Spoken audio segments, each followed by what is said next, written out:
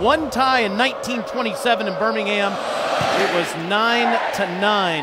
Ty King of the Bulldogs will call for a fair catch. Go for it on fourth and four. Samford does this almost on every possession. This is the 32nd time they've gone for it this season.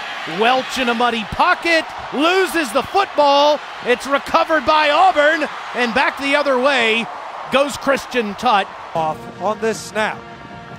But she doesn't need any help, that's for sure. Force Liam Welch to flush up in the pocket. Ball comes out. As you Go out and show your identity today going into next week's Iron Bowl. There's their identity. DJ Williams. Nix, one on one ball, incomplete, and there comes the flag. Seth Williams and Christian Matthew in a one on one battle. makes his face as he delivered the pass. Fake to Boobee, and it's Stove with daylight near the goal line, just short. Blocking in front of Whitlow. Boobee, touchdown.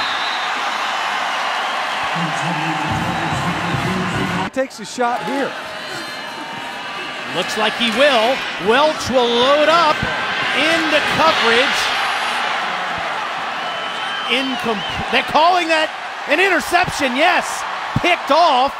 Somehow Jeremiah Dinson grabbed that football and Auburn gets it back again. He's the leader of this defense. We can talk about great players, but he's the one that runs the show. What great range to track this ball down from his safety spot, makes it all the way over to the sideline. Schwartz on the jet sweep. First down for the Auburn Tigers. The injury last week to Mississippi State. Mac Jones and the Tide will be here next week. Nix incomplete. Maybe a little miscommunication with Seth Williams there. From 43 yards. It is blocked. block, and that will get the kicker's head. For the other receiver on that side of formation to get going. Third and 12, and Welch just about threw a perfect pick to Christian Tutt. Now Tutt has a chance to catch this punt and do some damage in special teams. From the 39, he is past the 50. Struggled in the first few quarters these last few games. Whitlow bouncing off Samford Bulldogs is inside the 35 yard line. Capitalize not only on good field position, but on the end of long drives. Boobee again. Boobee inside the 20. Staying on his feet, carrying Bulldogs inside the five. It'll be first and goal. So is Auburn. Whitlow, touchdown. 31 yard run on the play before. Georgia winning out 85%. First down run. DJ Williams, hard running near the 30. Environment that a lot of these coaches have had in a long time. Fourth and four, shovel pass. First down inside the 20, inside the 15. And kind of wrap your head around the opportunity as Auburn in an unbalanced offensive front here. Nix ahead to Joiner. Touchdown. Harold Joiner, the redshirt freshman from Birmingham. Offensive front. And this is Chris Oladokun fumbling the ball, squirting free, and recovered by the Tigers. Roger McCreary inside the 20 yard line, and that is the third takeaway for the Tigers. Back. Fumbled, had fumble issues last week. You see Ricochet Rabbit coming in there, aka Zakoby McClain, number 35. Puts his helmet right on the ball. And the wind is starting to pick up too, guys. Shivers again.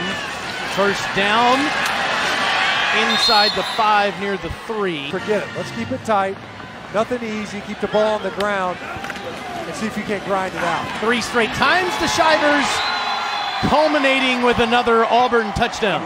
Overturned and Auburn lost by seven. And I can tell you the coaching staff is still firm or stands based on the replay review because it was ruled a catch on the field.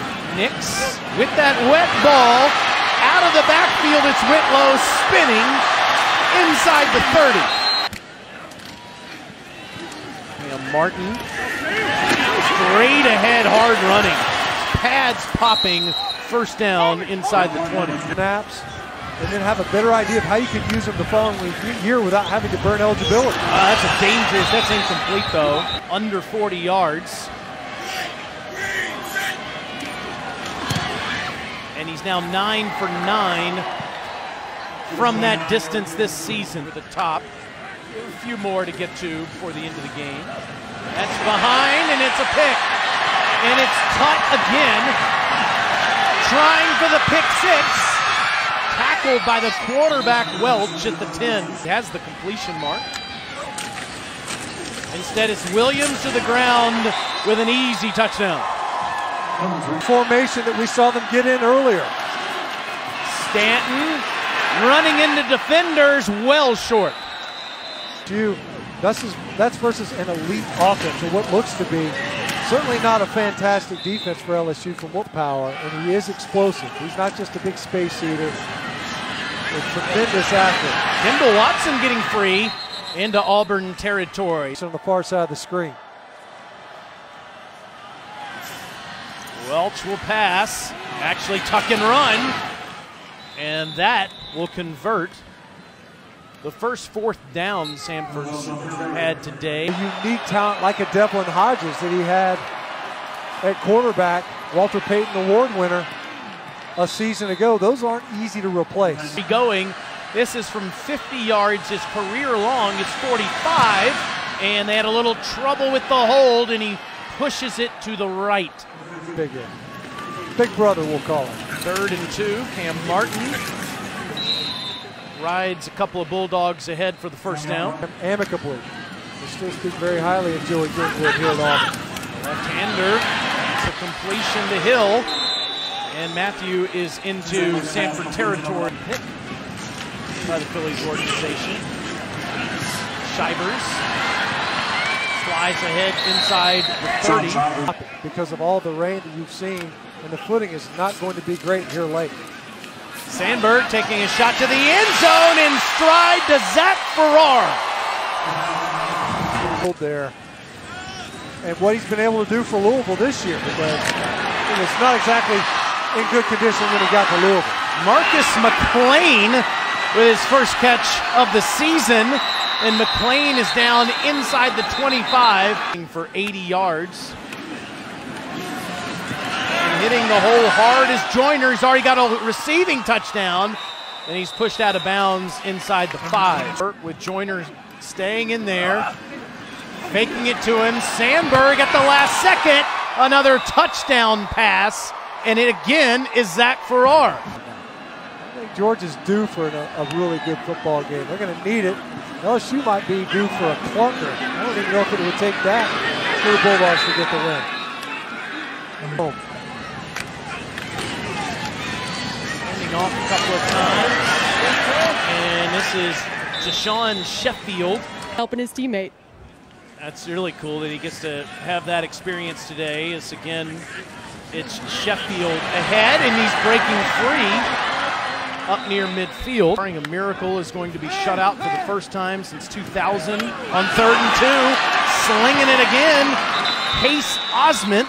Excellent toilet roll security. Well, Auburn gets out of here without any injuries. They did lose a player due to targeting that will have to miss the first half, Jamien Sherwood. But other than that, great defensive performance. Uh, the streak is snapped for Samford for shutouts. 52 0 the final.